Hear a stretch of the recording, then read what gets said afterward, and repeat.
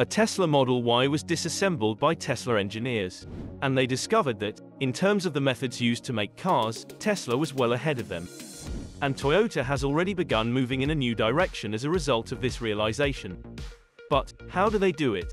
And what happened? Stay tuned. After disassembling the most recent Tesla Model Y piece by piece, a group of Toyota executives reportedly praised Tesla's innovative design philosophy. This is the latest indication that the world's largest automaker is realizing it has been completely outplayed by Musk's industry upstart. The Toyota executives, who asked to remain unnamed, talked to Automotive News about what they had discovered while researching the Model Y and thinking about how Toyota, which has previously largely shied away from the EV transition, may begin to keep up. One Toyota executive remarked, taking the skin off the Model Y, it was truly a work of art. I can't believe it. Another person chimed in, we need a fresh platform created as a blank sheet. A completely different manufacturing mindset is used. Toyota is a pioneer in production philosophies. Toyota's adoption of lean manufacturing principles, such as the just-in-time, Kanban system, Kaizen, continuous improvement, and 5S organizational housekeeping, revolutionized the globe in the 1970s. With the help of these ideas, Toyota and other Japanese automakers were able to drastically cut costs while dominating the global auto industry. To be competitive, several American and European automakers had to hustle to copy the new manufacturing methods. Many of them narrowly missed going out of business. New approach. However, since then, 50 years ago, things have changed. Tesla is currently forging a whole new philosophy. A fresh approach to not only design and manufacturing, as well as to how organizations are set up and how they interact with their clients. A way of thinking that embraces huge ideas with courage while also focusing on simplicity and minimalism. The use of cutting-edge AI for autonomous driving, enormous single-body castings that replace hundreds of parts, nationwide supercharging networks, and grid-scale battery systems are just a few examples of large vision and big bold engineering. Even Tesla's five-port cooling system is a feat of engineering. The corporate structure and product flow are further considerations. Tesla has entirely abandoned the dealership model in favor of dealing directly with customers. Since Tesla offers free over-the-air software updates, its vehicles really improve with time. Every part of the business is infused with the idea, the guiding principles of this philosophy include a few. Tesla's adamant philosophical aversion to marketing and advertising is a significant one that is sometimes disregarded. Advertising gives businesses the ability to trick consumers into purchasing inferior goods. When businesses rely solely on advertising to sell their goods, the goods suffer. A new era in the history of the global auto industry, characterized by the Silicon Valley approach to software that is replacing traditional manufacturing know-how, may have begun with Tesla's quick ascension to the top spot as the most valuable car maker in the world. Many investors were surprised by Tesla's surge. However, starting in 2009, officials at Daimler AG, the parent company of Mercedes-Benz, got a close-up view of how Tesla and its CEO Elon Musk were adopting a novel strategy to create automobiles that posed a threat to the status quo. In May 2009, Daimler, which bears the name of the man who created the modern automobile 134 years ago, purchased roughly 10% of Tesla in a deal that gave the floundering startup a $50 million lifeline. Analysts began to compare Tesla to Apple as it continued to develop novel production techniques, software designs, and electronic architecture that allow it to launch advances more quickly than competitors. Moreover, in the absence of advertising, Tesla is forced to concentrate solely on the product, which then needs to generate its own word-of-mouth sales. While traditional automakers spend tens of billions of dollars annually on advertising, Tesla doesn't spend a dime and yet it is the fastest growing automaker in history.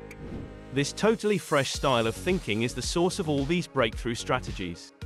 This new way of thinking has become part of Tesla's culture, and it is expressed in axioms like, the best part is no part, there are the laws of physics, everything else is a recommendation, and, the machine that makes the machine. The most complex organizational system in existence, according to some, is found in the car industry. The quantity of components and raw materials that must be mined, processed, cast, extruded, cut, folded, welded, and joined to create the finished product is quite astounding. Tesla is able to make over $9,700 in gross margin from each vehicle because of the daily mission to eliminate redundancy and complexity from this absurdly complex process. As compared to Toyota, who earns less than $1,300 per vehicle, this is about eight times more.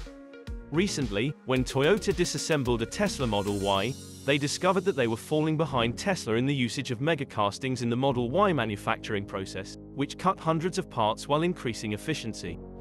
In addition to cutting costs, Tesla is said to have shed up to 100 kilograms. How does megacasting work? Megacasting, a method of producing massive and intricate structures, includes casting them all in one piece as opposed to doing it in smaller pieces and connecting them. Due to the lack of welding required, this procedure helps to reduce weight and improve strength when producing structural parts for electric vehicles, EVs. Megacastings were utilized by Tesla to produce the Model Y, which let the company eliminate hundreds of pieces and cut the vehicle's overall weight by up to 220 pounds, 100 kilogram. The efficiency and performance of the Model Y are a result of this weight reduction combined with the usage of a structural battery. The new CEO of Toyota intends to move the company forward. Toyota has come under fire for adopting EV technologies a bit later than its competitors, including Volkswagen and General Motors, given the fact that it is the largest automaker in the world by the number of vehicles sold. Koji Sato, the new CEO, has promised to hasten the transition to EVs at the corporation. In the future, Toyota will concentrate on battery electric vehicles and, by 2026, will introduce a new electric Lexus model. We must streamline the car's structure and, with a BEV first mindset, we must drastically change the way we do business, from manufacturing to sales and service, Sato said. To deliver attractive BEVs to more customers, we must have a BEV first mindset.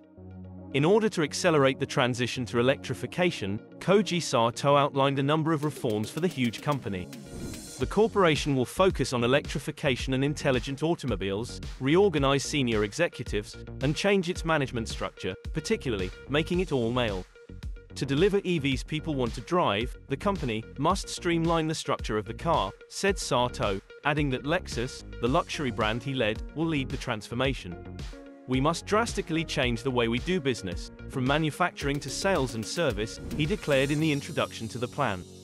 A next-generation Lexus EV will be available by 2026 as a result of the company restructuring its Kyushu vehicle production system. These vehicles will have everything designed for EVs, from the battery and platform to how a car is built. Although Toyota's new platform won't likely be ready until 2026, it is an essential step toward matching Tesla's level of manufacturing efficiency. To achieve this objective, though, Toyota will need to undergo a culture transformation because it has come under fire for missing the mentality needed to produce as many EVs as Tesla. Toyota's unsuccessful BZ4X crossover, which was introduced in 2022, had underwhelming performance because of its ICE platform. Toyota refers to it as the eTNGA, but it is simply the TNGA with an electric motor and battery. It is even put together by the Japanese car maker on the same assembly line as other TNGA cars. And this platform simply won't work in the long run. The implication of this is that Toyota will adapt and aim to rule the EV market the same way it ruled the petrol and diesel ones. In the upcoming year, as Toyota becomes more explicit about its strategies for achieving this dominance, expect significant announcements from the automaker. It will be fascinating to see how the biggest automotive manufacturer in the world tries to perform this maneuver. The corporation now sells roughly 10 million gasoline and diesel vehicles annually and claims that their dedicated EV platform vehicles won't be introduced until 2026. Numerous researchers predict that by then, the global EV market share will be well over 50%. Some, like Cathie Wood of ARK Invest, predict that it might reach 90% by then. What do you think of Toyota's current strategy? Please share your thoughts in the comment box below. And if you've watched up to this point, thank you so much. For more videos about EVs, Toyota, Tesla, Ford, and the most recent auto news, please consider subscribing to Tech Addicts.